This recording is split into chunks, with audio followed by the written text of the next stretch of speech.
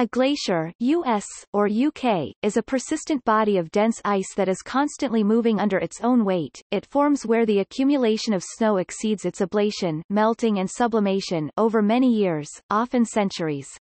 Glaciers slowly deform and flow due to stresses induced by their weight, creating crevasses, seracs, and other distinguishing features. They also abrade rock and debris from their substrate to create landforms such as cirques and moraines. Glaciers form only on land and are distinct from the much thinner sea ice and lake ice that form on the surface of bodies of water. On Earth, 99% of glacial ice is contained within vast ice sheets also known as continental glaciers in the polar regions, but glaciers may be found in mountain ranges on every continent including Oceania's high-latitude oceanic island countries such as New Zealand and Papua New Guinea.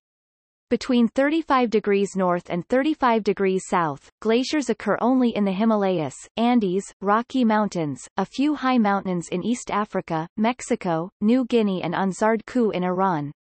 Glaciers cover about 10% of Earth's land surface. Continental glaciers cover nearly 13 million square kilometers 5 million square miles or about 98% of Antarctica's 13.2 million square kilometers 5.1 million square miles, with an average thickness of 2,100 meters 7,000 feet.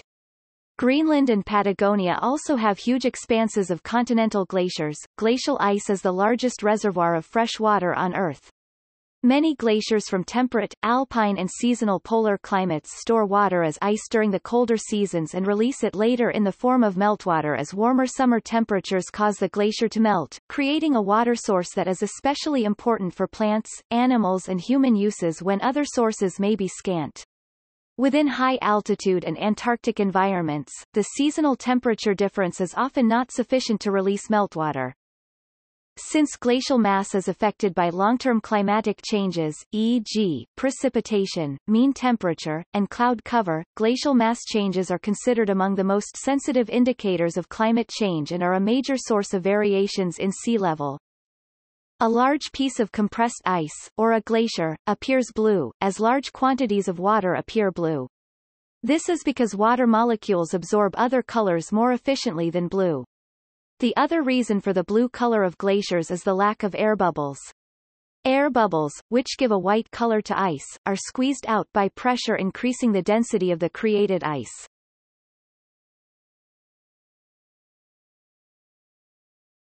Topic.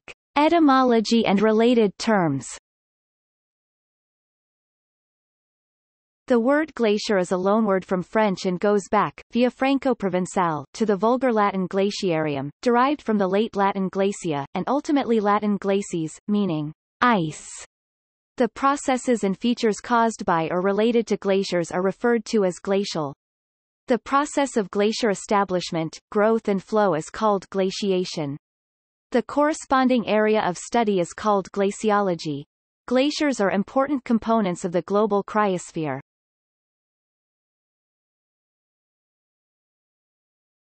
Topic. Types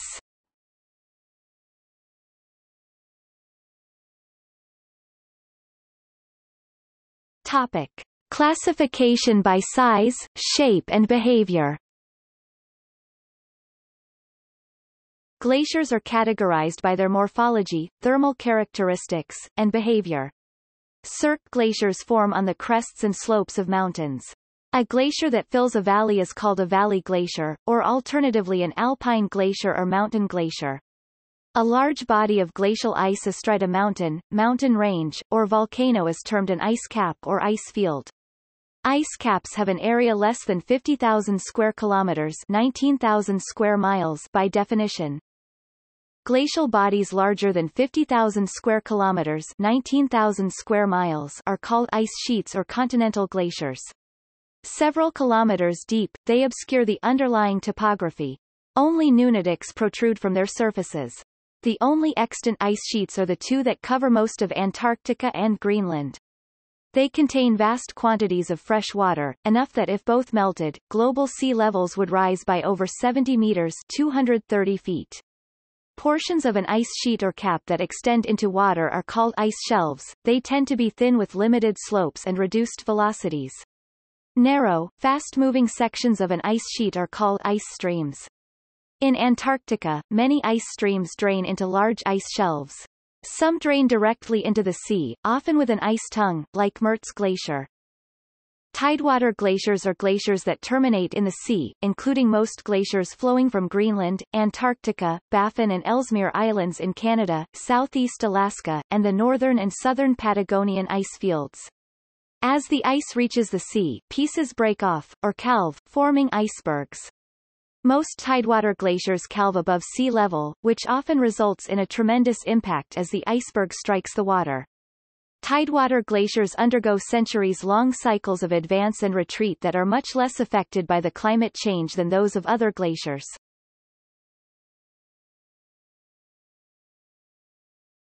Topic. Classification by thermal state Thermally, a temperate glacier is at melting point throughout the year, from its surface to its base. The ice of a polar glacier is always below the freezing point from the surface to its base, although the surface snowpack may experience seasonal melting. A sub-polar glacier includes both temperate and polar ice, depending on depth beneath the surface and position along the length of the glacier. In a similar way, the thermal regime of a glacier is often described by its basal temperature. A cold-based glacier is below freezing at the ice-ground interface, and is thus frozen to the underlying substrate. A warm-based glacier is above or at freezing at the interface, and is able to slide at this contact. This contrast is thought to a large extent to govern the ability of a glacier to effectively erode its bed, as sliding ice promotes plucking at rock from the surface below. Glaciers which are partly cold-based and partly warm-based are known as polythermal.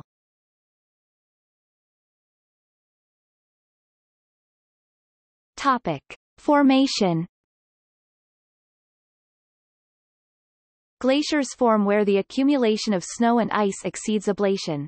A glacier usually originates from a landform called cirque or corrie or CWM, a typically armchair-shaped geological feature, such as a depression between mountains enclosed by arêtes, which collects and compresses through gravity the snow that falls into it. This snow collects and is compacted by the weight of the snow falling above it, forming neve. Further crushing of the individual snowflakes and squeezing the air from the snow turns it into glacial ice. This glacial ice will fill the cirque until it overflows through a geological weakness or vacancy, such as the gap between two mountains. When the mass of snow and ice is sufficiently thick, it begins to move due to a combination of surface slope, gravity and pressure. On steeper slopes, this can occur with as little as 15 meters 50 feet of snow ice. In temperate glaciers, snow repeatedly freezes and thaws, changing into granular ice called firn. Under the pressure of the layers of ice and snow above it, this granular ice fuses into denser and denser firn. Over a period of years, layers of firn undergo further compaction and become glacial ice. Glacier ice is slightly less dense than ice formed from frozen water because it contains tiny trapped air bubbles. Glacial ice has a distinctive blue tint because it absorbs some red light due to an overtone of the infrared O stretching mode of the water molecule. Liquid water is blue for the same reason. The blue of glacier ice is sometimes misattributed to Rayleigh scattering due to bubbles in the ice.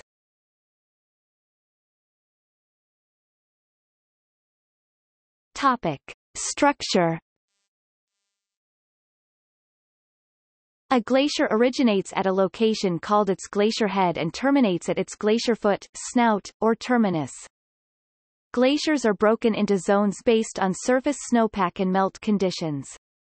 The ablation zone is the region where there is a net loss in glacier mass. The equilibrium line separates the ablation zone and the accumulation zone, it is the altitude where the amount of new snow gained by accumulation is equal to the amount of ice lost through ablation. The upper part of a glacier, where accumulation exceeds ablation, is called the accumulation zone. In general, the accumulation zone accounts for 60 to 70% of the glacier's surface area, more if the glacier calves icebergs. Ice in the accumulation zone is deep enough to exert a downward force that erodes underlying rock.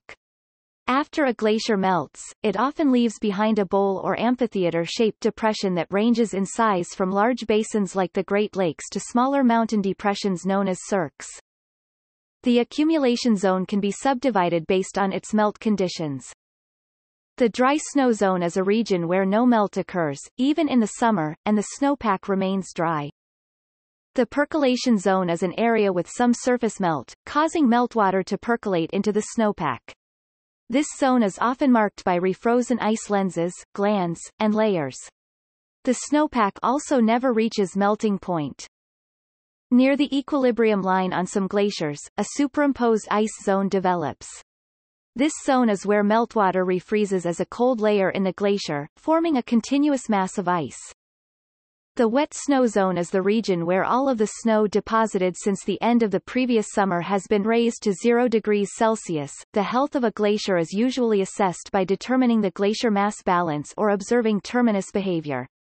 Healthy glaciers have large accumulation zones, more than 60% of their area snow-covered at the end of the melt season, and a terminus with vigorous flow. Following the Little Ice Age's end around 1850, glaciers around the Earth have retreated substantially.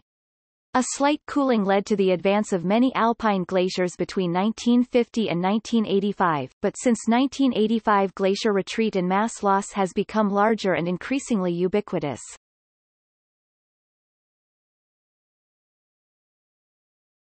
Topic. Motion Glaciers move, or flow, downhill due to gravity and the internal deformation of ice. Ice behaves like a brittle solid until its thickness exceeds about 50 meters 160 feet. The pressure on ice deeper than 50 meters causes plastic flow. At the molecular level, ice consists of stacked layers of molecules with relatively weak bonds between layers. When the stress on the layer above exceeds the interlayer binding strength, it moves faster than the layer below. Glaciers also move through basal sliding. In this process, a glacier slides over the terrain on which it sits, lubricated by the presence of liquid water. The water is created from ice that melts under high pressure from frictional heating. Basal sliding is dominant in temperate, or warm-based glaciers. Although evidence in favor of glacial flow was known by the early 19th century, other theories of glacial motion were advanced, such as the idea that meltwater, refreezing inside glaciers, caused the glacier to dilate and extend its length. As it became clear that glaciers behaved to some degree as if the ice were a viscous fluid, it was argued that regelation or the melting and refreezing of ice at a temperature lowered by the pressure on the ice inside the glacier, was what allowed the ice to deform and flow. James Forbes came up with the essentially correct explanation in the 1840s, although it was several decades before it was fully accepted.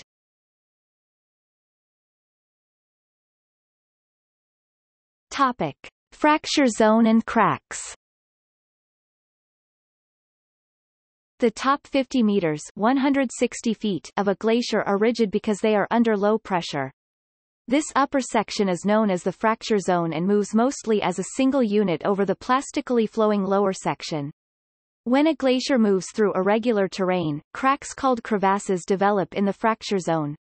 Crevasses form due to differences in glacier velocity. If two rigid sections of a glacier move at different speeds and directions, shear forces cause them to break apart, opening a crevasse. Crevasses are seldom more than 46 meters 150 feet deep but in some cases can be 300 meters 1,000 feet or even deeper. Beneath this point, the plasticity of the ice is too great for cracks to form. Intersecting crevasses can create isolated peaks in the ice, called seracs. Crevasses can form in several different ways. Transverse crevasses are transverse to flow and form where steeper slopes cause a glacier to accelerate. Longitudinal crevasses form semi-parallel to flow where a glacier expands laterally. Marginal crevasses form from the edge of the glacier, due to the reduction in speed caused by friction of the valley walls.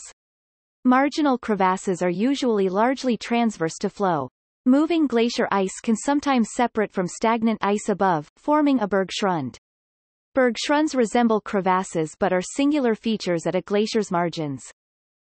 Crevasses make travel over glaciers hazardous, especially when they are hidden by fragile snow bridges. Below the equilibrium line, glacial meltwater is concentrated in stream channels. Meltwater can pool in proglacial lakes on top of a glacier or descend into the depths of a glacier via moulins. Streams within or beneath a glacier flow in englacial or subglacial tunnels. These tunnels sometimes reemerge at the glacier's surface.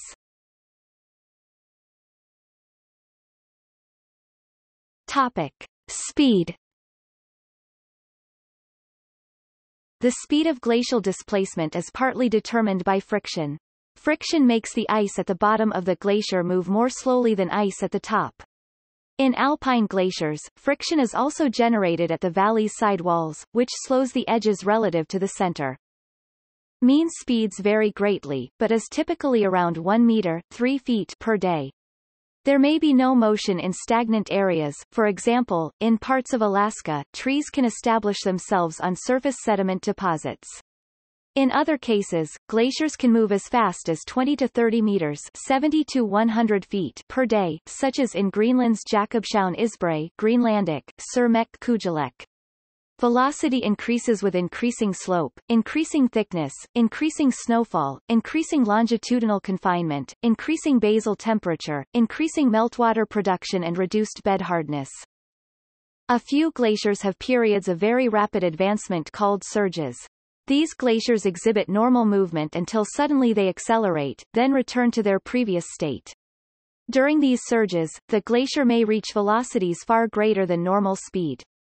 These surges may be caused by failure of the underlying bedrock, the pooling of meltwater at the base of the glacier, perhaps delivered from a supraglacial lake, or the simple accumulation of mass beyond a critical tipping point. Temporary rates up to 90 meters 300 feet per day have occurred when increased temperature or overlying pressure caused bottom ice to melt and water to accumulate beneath a glacier. In glaciated areas where the glacier moves faster than 1 km per year, glacial earthquakes occur. These are large-scale earthquakes that have seismic magnitudes as high as 6.1. The number of glacial earthquakes in Greenland peaks every year in July, August and September and increased rapidly in the 1990s and 2000s. In a study using data from January 1993 through October 2005, more events were detected every year since 2002, and twice as many events were recorded in 2005 as there were in any other year.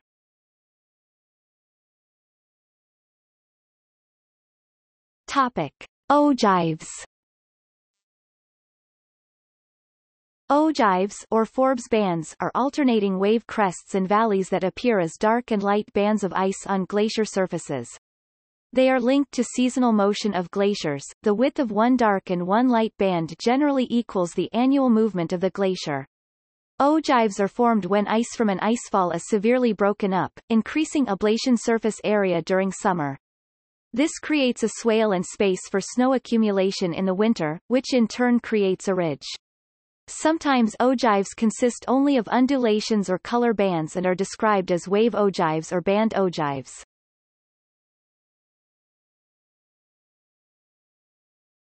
Topic. Geography Glaciers are present on every continent and approximately 50 countries, excluding those Australia, South Africa that have glaciers only on distant subantarctic island territories. Extensive glaciers are found in Antarctica, Chile, Canada, Alaska, Greenland and Iceland. Mountain glaciers are widespread, especially in the Andes, the Himalayas, the Rocky Mountains, the Caucasus, Scandinavian Mountains, and the Alps. Mainland Australia currently contains no glaciers, although a small glacier on Mount Kosciuszko was present in the last glacial period. In New Guinea, small, rapidly diminishing, glaciers are located on its highest summit massif of Puncak Jaya. Africa has glaciers on Mount Kilimanjaro in Tanzania, on Mount Kenya and in the Ruwenzori Mountains.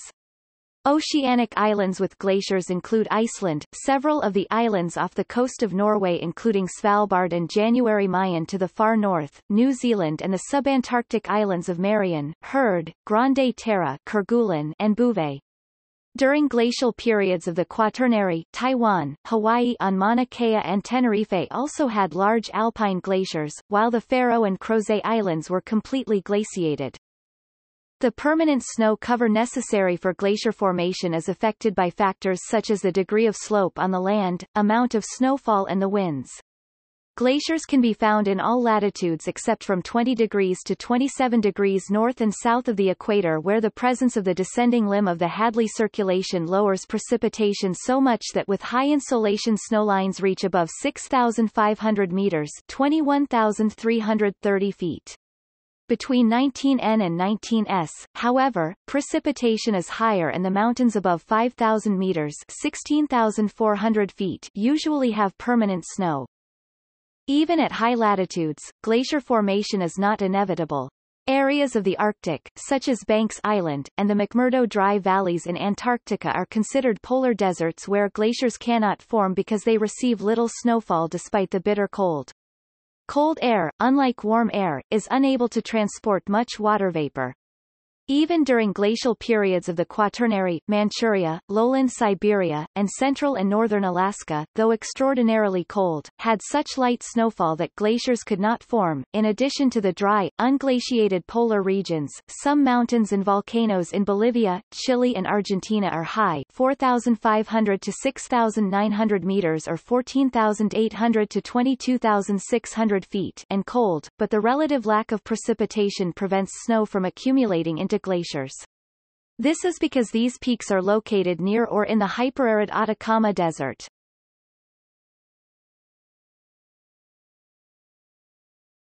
Topic. Glacial geology Glaciers erode terrain through two principal processes, abrasion and plucking. As glaciers flow over bedrock, they soften and lift blocks of rock into the ice.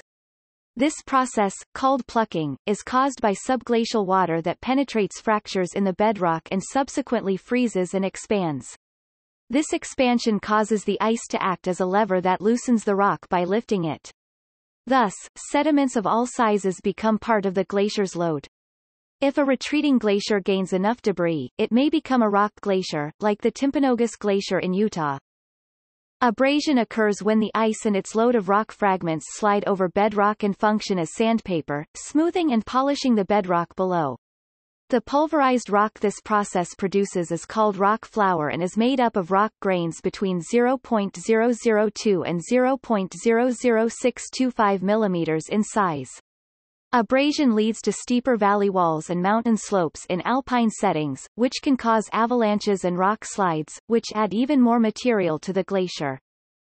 Glacial abrasion is commonly characterized by glacial striations. Glaciers produce these when they contain large boulders that carve long scratches in the bedrock. By mapping the direction of the striations, researchers can determine the direction of the glacier's movement. Similar to striations are chatter marks, lines of crescent-shaped depressions in the rock underlying a glacier. They are formed by abrasion when boulders in the glacier are repeatedly caught and released as they are dragged along the bedrock. The rate of glacier erosion varies. Six factors control erosion rate. Velocity of glacial movement.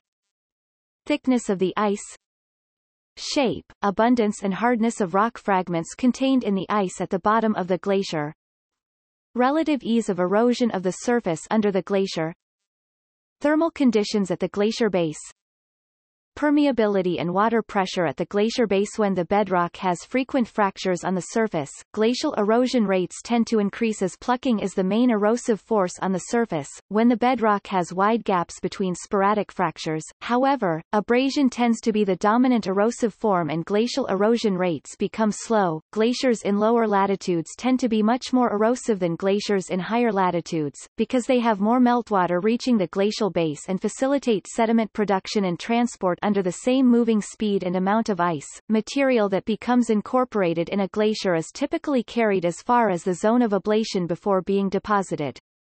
Glacial deposits are of two distinct types. Glacial till, material directly deposited from glacial ice. Till includes a mixture of undifferentiated material ranging from clay size to boulders, the usual composition of a moraine. Fluvial and outwash sediments, sediments deposited by water. These deposits are stratified by size. Larger pieces of rock that are encrusted in till or deposited on the surface are called glacial erratics. They range in size from pebbles to boulders, but as they are often moved great distances, they may be drastically different from the material upon which they are found. Patterns of glacial erratics hint at past glacial motions. Topic. Moraines Glacial moraines are formed by the deposition of material from a glacier and are exposed after the glacier has retreated. They usually appear as linear mounds of till, a non-sorted mixture of rock, gravel and boulders within a matrix of a fine powdery material. Terminal or end moraines are formed at the foot or terminal end of a glacier. Lateral moraines are formed on the sides of the glacier. Medial moraines are formed when two different glaciers merge and the lateral moraines of each coalesce to form a moraine in the middle of the combined glacier. Less apparent are ground moraines, also called glacial drift, which often blankets the surface underneath the glacier downslope from the equilibrium line. The term moraine is of French origin. It was coined by peasants to describe alluvial embankments and rims found near the margins of glaciers in the French Alps. In modern geology, the term is used more broadly, and is applied to a series of formations, all of which are composed of till. Moraines can also create moraine-dammed lakes.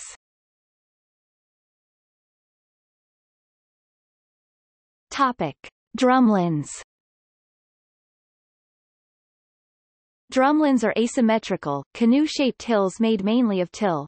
Their heights vary from 15 to 50 meters and they can reach a kilometer in length. The steepest side of the hill faces the direction from which the ice advanced Stoss, while a longer slope is left in the ice's direction of movement Lee. Drumlins are found in groups called drumlin fields or drumlin camps. One of these fields is found east of Rochester, New York. It is estimated to contain about 10,000 drumlins. Although the process that forms drumlins is not fully understood, their shape implies that they are products of the plastic deformation zone of ancient glaciers. It is believed that many drumlins were formed when glaciers advanced over and altered the deposits of earlier glaciers.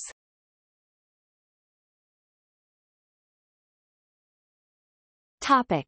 Glacial valleys, cirques, arêtes, and pyramidal peaks Before glaciation, mountain valleys have a characteristic V shape, produced by eroding water. During glaciation, these valleys are often widened, deepened and smoothed to form a U-shaped glacial valley or glacial trough, as it is sometimes called. The erosion that creates glacial valleys truncates any spurs of rock or earth that may have earlier extended across the valley, creating broadly triangular-shaped cliffs called truncated spurs. Within glacial valleys, depressions created by plucking and abrasion can be filled by lakes, called paternoster lakes. If a glacial valley runs into a large body of water, it forms a fjord. Typically glaciers deepen their valleys more than their smaller tributaries.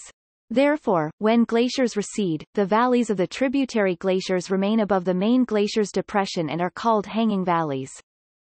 At the start of a classic valley glacier is a bowl-shaped cirque, which has escarped walls on three sides but is open on the side that descends into the valley.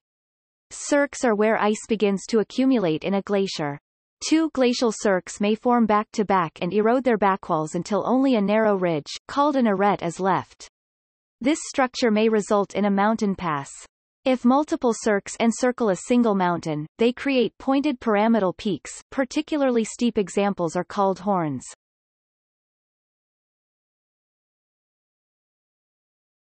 Topic.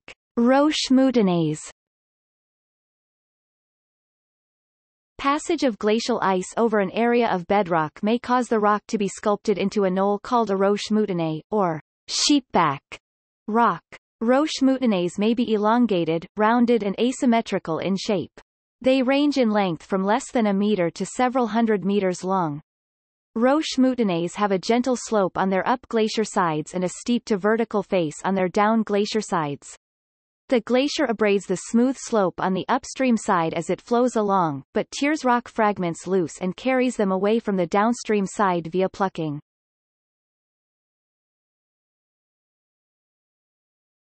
Topic. Alluvial stratification As the water that rises from the ablation zone moves away from the glacier, it carries fine eroded sediments with it. As the speed of the water decreases, so does its capacity to carry objects in suspension. The water thus gradually deposits the sediment as it runs, creating an alluvial plain. When this phenomenon occurs in a valley, it is called a valley train. When the deposition is in an estuary, the sediments are known as bay mud. Outwash plains and valley trains are usually accompanied by basins known as kettles. These are small lakes formed when large ice blocks that are trapped in alluvium melt and produce water-filled depressions. Kettle diameters range from 5 meters to 13 kilometers, with depths of up to 45 meters. Most are circular in shape because the blocks of ice that formed them were rounded as they melted.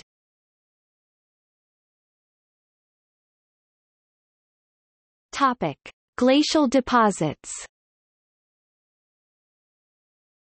When a glacier size shrinks below a critical point, its flow stops and it becomes stationary.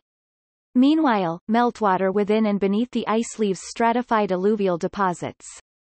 These deposits, in the forms of columns, terraces and clusters, remain after the glacier melts and are known as glacial deposits. Glacial deposits that take the shape of hills or mounds are called kames. Some kames form when meltwater deposits sediments through openings in the interior of the ice.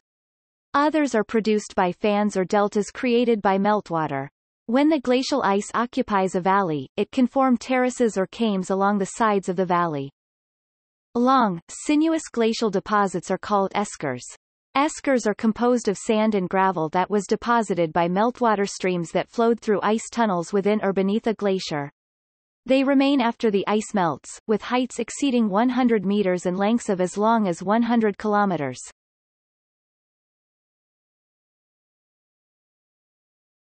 Topic. Loess deposits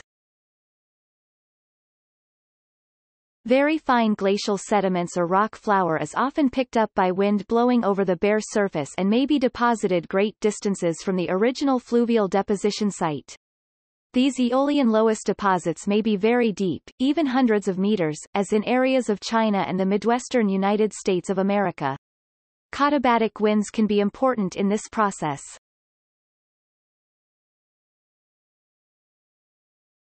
Topic. Isostatic rebound Large masses, such as ice sheets or glaciers, can depress the crust of the Earth into the mantle. The depression usually totals a third of the ice sheet or glacier's thickness. After the ice sheet or glacier melts, the mantle begins to flow back to its original position, pushing the crust back up. This post-glacial rebound, which proceeds very slowly after the melting of the ice sheet or glacier, is currently occurring in measurable amounts in Scandinavia and the Great Lakes region of North America. A geomorphological feature created by the same process on a smaller scale is known as dilation faulting. It occurs where previously compressed rock is allowed to return to its original shape more rapidly than can be maintained without faulting. This leads to an effect similar to what would be seen if the rock were hit by a large hammer. Dilation faulting can be observed in recently deglaciated parts of Iceland and Cumbria.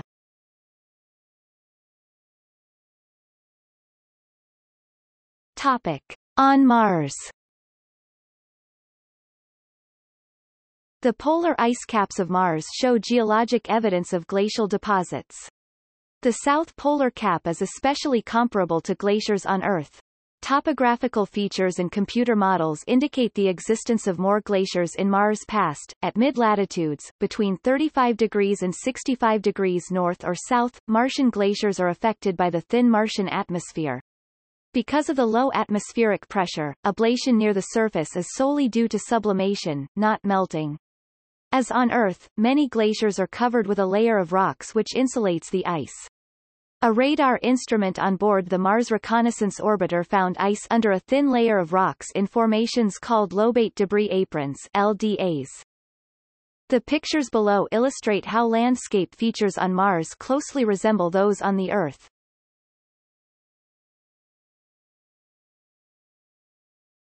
Topic. See also. Glacial landform, landform created by the action of glaciers. Glacial motion. Glacier growing. Glacier morphology. Glaciology, scientific study of ice and natural phenomena involving ice. Ice dam. Retreat of glaciers since 1850 List of glaciers Notes